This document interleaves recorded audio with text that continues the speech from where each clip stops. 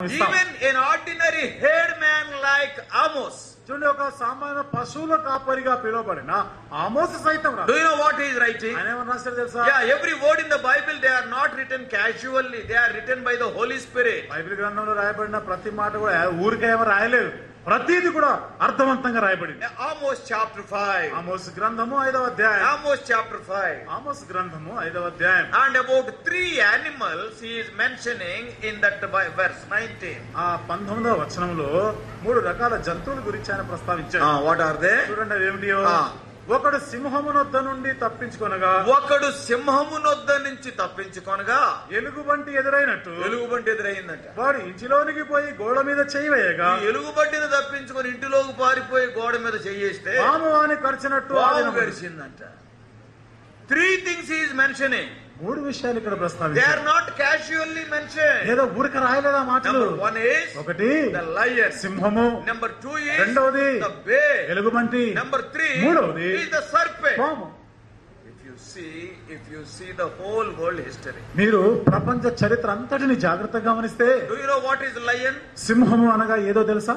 The one the king of the forest అడవికి రాజు అని. Everything is under its control అంతే కూడా వాడి యొక్క ఆధీనంలో ఉంటుంది. Though the elephant is three tons heavy it will feel fear at two hundred kilos lion ఏనుగు మూడు టన్నులు బరువైన రెండు వందల కేజీలు బరువు ఉన్న సింహాన్ని చూసి బెదిరిపోతుంది. ఇట్ ఈస్ ద కింగ్ అది రాజు.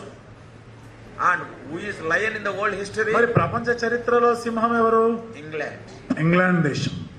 Though it is small country అది చిన్న దేశమైన. It rule the whole world ప్రపంచం అతన్ని పరిపాలించి because of British colonial reign the whole world is ruled by England British వారిని కారణాలు బట్టి ప్రపంచమంతా కూడా ఇంగ్లాండ్ వారు పరిపాలించారు. Amos talking about England can you understand Amos ప్రవక్త ఇంగ్లాండ్ దేశం గురించి మాట్లాడుతున్నాడంటే అర్థమవుతుంది? ఇంగ్లాండ్ ఇట్ ఇస్ రిటెన్ సూర్యుడు అస్తమించని రాజ్యం. అందుకనే ఇంగ్లాండ్ దేశం చెప్పబడిన మాట ఏమిటి సూర్యుడు అస్తమించని సామ్రాజ్యం. After all the whole of America the whole of Australia the whole of Canada they are still they are English colonies America Australia Canada ఇప్పటికీ కూడా ఇంగ్లీష్ కాలనీలు అని చెప్తారు even today we are celebrating Independence Day that is we are delivered from the clutches of the English people ఈ రోజు మనము జరుపుకునేటువంటి స్వాతంత్రము English వారి చేతిలోనే వచ్చిన స్వాతంత్రం. ఓ సోదరి సోదరులు England was the lion England అది సింహం అనగా. బట్ అయితే all the days the lion will not be there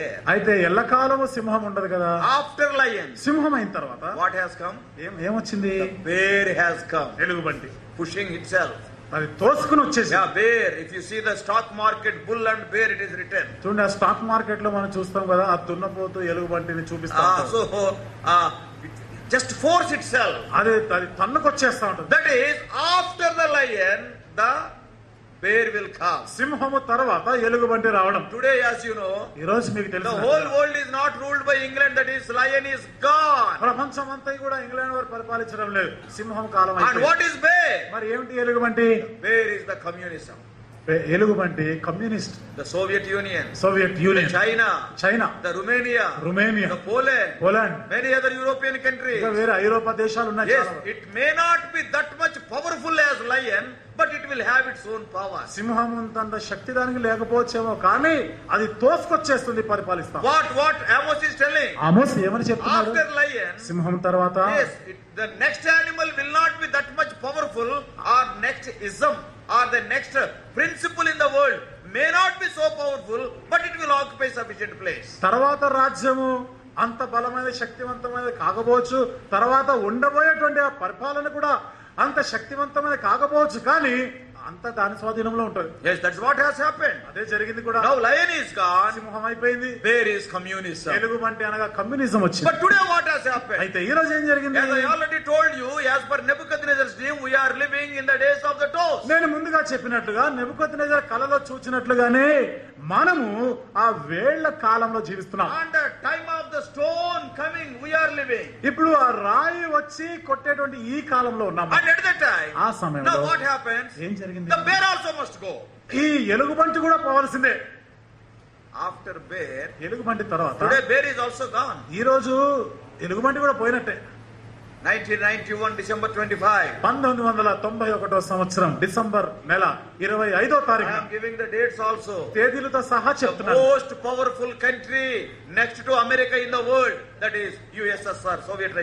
ప్రపంచంలో అమెరికా తర్వాత అత్యంత శక్తివంతమైన దేశమే USSR Russia it is communist అదే కమ్యూనిస్ట్ ఆల్సో చైనా today. తర్వాత చైనా కూడా అంతే శక్తివంతమైనది today what is happening? ఈ రోజు ఏం జరుగుతా ఉంది On 25th of December 1991, పంతొమ్మిది వందల తొంభై ఒకటో సంవత్సరం డిసెంబర్ నెల ఇరవై ఐదో తారీఖున the whole of USSR has broken into 15 pieces. USSR Soviet Russia మొత్తం కూడా పదిహేను ముక్కలైంది if any state or any country is divided ఏ దేశమైనా ఏ రాష్ట్రమైనా విడిపోయిందంటే ఎన్ని ముక్కలు అవుతుంది ఎన్ని ముక్కలు అవుతుంది మేబీ టూ రెండు ముక్కలు అవుతుంది లైక్ ఆంధ్ర తెలంగాణ ఆంధ్ర తెలంగాణ అయిపోయినట్టు విడిపోతాయి. ఎట్ ద మోస్ట్ త్రీ అంటే మూడు ముక్కలు అవుతాయి but what about Soviet Russia Soviet Russia మాట ఏమిటి? కంట్రీ పదిహేను దేశాలు అయిపోయి Azerbaijan Azerbaijan Armenia Armenia Estonia Estonia Belarus Belarus Belarus Belarus Georgia Georgia and Ukraine Ukraine and Kazakhstan Kazakhstan Turkmenistan Turkmenistan what not fifteen పదిహేను దేశం. What does it mean దాని అర్థం ఏమిటి? The bear is also going down ఎలుగు మంచి కాలం కూడా అయిపోతుంది అది ఇక నౌ నెక్స్ట్ వన్ ఇప్పుడు తర్వాతది ఏమిటి? సర్ పాంప్ అంత్యక్రీస్తు క్రీస్తు విరోధి కాలం సర్పెంట్ ఇస్ కంపేర్డ్ విత్ కాబట్టి ఈ పాము సర్పము సాతాన్తో పోల్చు సహోదరి సోదరులు poor man uneducated man head man Amos is telling the whole world history will be lion bear next సామాన్యమైన పేదవాడు పశువుల కాపరి ఏంటంటే ఆమోసు ప్రవక్త చెప్పాడు. ప్రపంచం మూడుగా ఉంటుంది.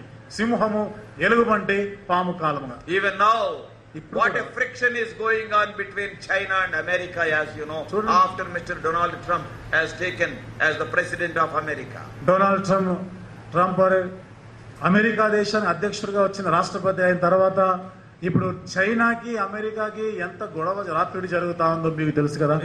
కదా China want to occupy the whole world. China ప్రపంచం అంతా ఆక్రమించాలనుకుంటుంది Go to anywhere, go to anywhere in the world.